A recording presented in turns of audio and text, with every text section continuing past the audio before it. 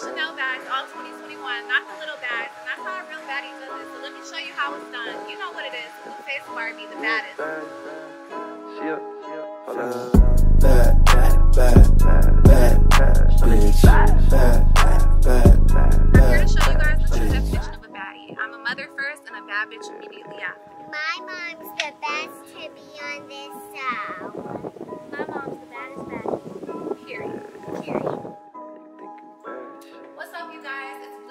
Barbie. You already know who I am from Joseline's Cabaret.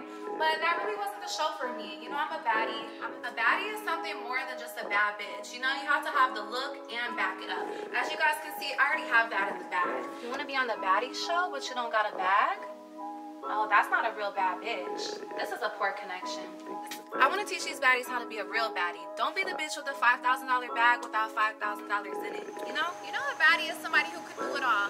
Dress it up, dress it down, be crazy, be normal. You guys already know I'm fucking nuts. It's me. Like y'all want to see me again.